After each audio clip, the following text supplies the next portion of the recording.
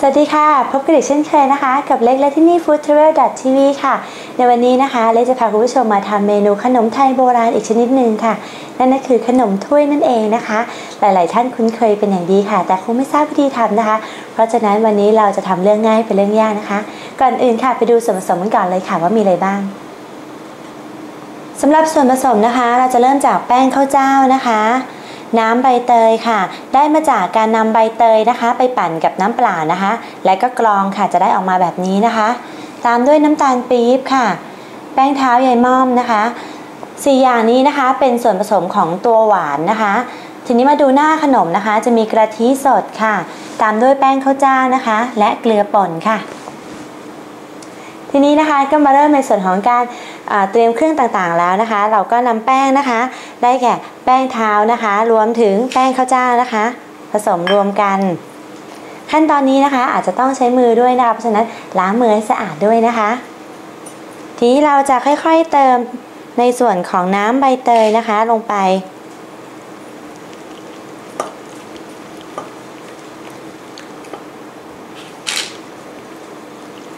นวดไปเรื่อยๆนะคะ จนกว่าแป้งจะละลายจนหมดนะคะ และแป้งจะต้องไม่ไม่เป็นเม็ดด้วยนะคะสำหรับขนมถ้วยนะคะ เดี๋ยวนี้ก็หาทานยากแล้วนะคะ ถือเป็นขนมไทยโบราณอีกชนิดนึงเลยนะคะ ถ้าคุณผู้ชมดูเมนูนี้จบแล้วนะคะ ก็อย่าลืมลองทำดูด้วยนะคะ รับรองเลยนะคะว่ารสชาติเข้มข้นแน่นอนค่ะ สาเหตุที่จะต้องใช้มือด้วยนะคะ เพราะว่าเราต้องการที่จะเช็คดูด้วยนะคะว่าแป้งเนี่ยไม่เป็นเม็ดแล้วนะคะ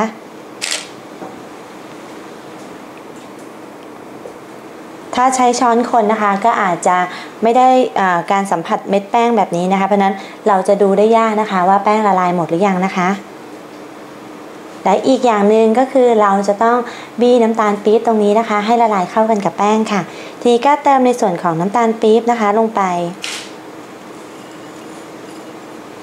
และก็ใช้มือบี้นะคะ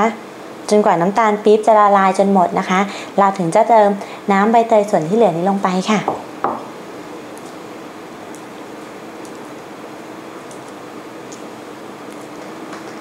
ตอนนี้นะคะน้ำตาลปี๊บนะคะก็ละลายแล้วนะคะ หลืออาจจะเหลือแค่เล็กๆน้อยๆนะคะ ตรงนั้นไม่ต้องซีเรียสนะคะ เพราะว่าเดี๋ยวเราจะต้องนำมากรองอีกครั้งหนึ่งค่ะ นี่ก็เติมในส่วนที่เหลือลงไปเลยนะคะ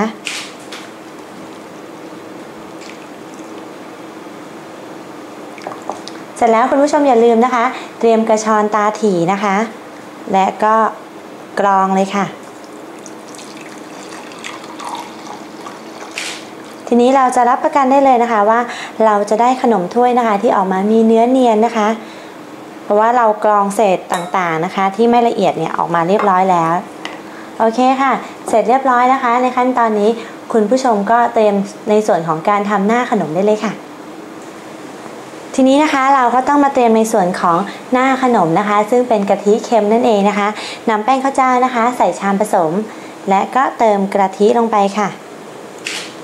ทีนี้เหมือนเดิมเลยนะคะ ใช้มือค่อยๆ นวดนะคะ จนแป้งละลายจนหมดค่ะ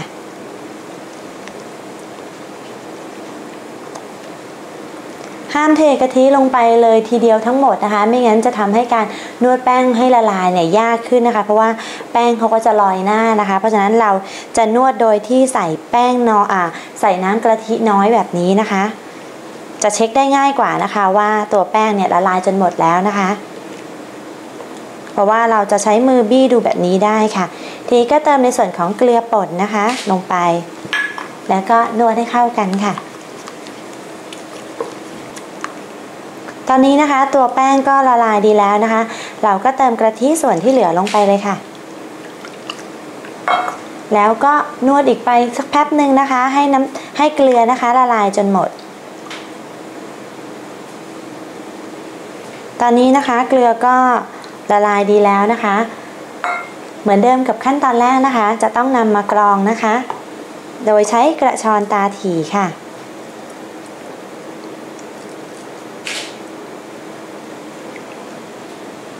ทีนี้เราก็ได้กระทินะคะที่เนื้อเนียนพอที่จะนำไปนึ่งแล้วนะคะ จากนี้คุณผู้ชมก็เตรียมลังนึ่งได้เลยค่ะ ขั้นตอนต่อไปนะคะ คุณผู้ชมก็เตรียมซึ่งนึ่งขนาดใหญ่แบบนี้ได้เลยนะคะ และต้มน้ำให้เดือดค่ะ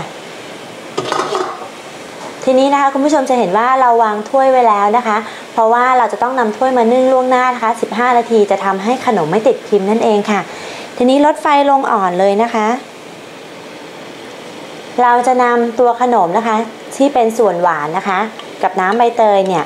เทใส่พิมพ์นะคะ3ส่วน4พิมพ์และก่อนที่จะนำลงพิมพ์จะต้องคนทุกครั้งนะคะ ไม่งั้นส่วนผสมจะแยกตัวกันค่ะ ทีนี้มันค่อนข้างร้อนนะคะ เพราะฉะนั้นเดี๋ยวเราใส่ถุงมือนิดนึง เทลงไปนะคะ3จน4พิมพ์เท่านั้นค่ะ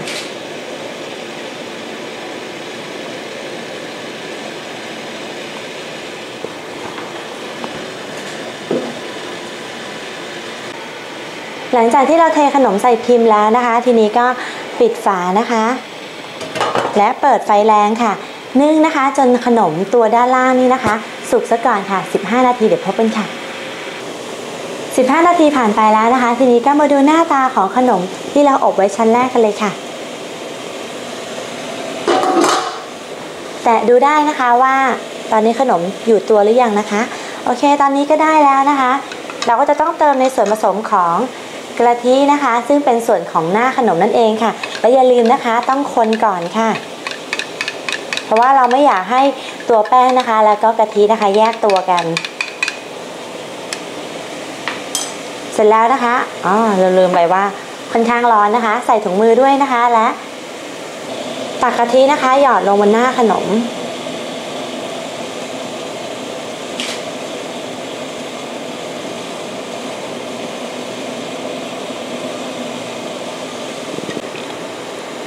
หยอดกะทินะคะ จนเต็มทุกพิมพ์แล้วนะคะ ก็ปิดฝาค่ะ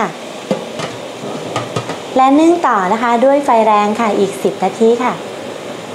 10 นาทีนะคะ ตอนนี้ก็ครบแล้วนะคะ เดี๋ยวมาดูหน้าตาของขนมถ้วยของเราเลยค่ะ โอเคนะคะ ตอนนี้กะทิก็สุกดีแล้วนะคะ นี่ก็ปิดแก๊สได้เลยค่ะ เวลาที่เราจะเสิร์ฟนะคะ เราจะต้องพักขนมถ้วยไว้ให้เย็นก่อนนะคะ ถึงจะแกะออกจากพิมพ์ได้ค่ะ เพราะว่าเขาต้องการเวลาในการเซตตัวด้วยนะคะสำหรับขนมถ้วย แต่ว่าวันนี้เราไม่มีเวลานะคะ เพราะฉะนั้นเดี๋ยว ขออนุญาตคุณผู้ชมเสิร์ฟแบบนี้เลย โอเค แค่นี้ก็เสร็จเรียบร้อยแล้วนะคะ กับเมนูขนมไทยๆกับขนมถ้วยค่ะ อย่าลืมนะคะ ก่อนที่จะเสิร์ฟพักไว้ให้เย็นก่อนค่ะ วันนี้ลาไปก่อนนะคะ กับคนจะเหลือกินเชื่อใจไปกับ food t v ค่ะ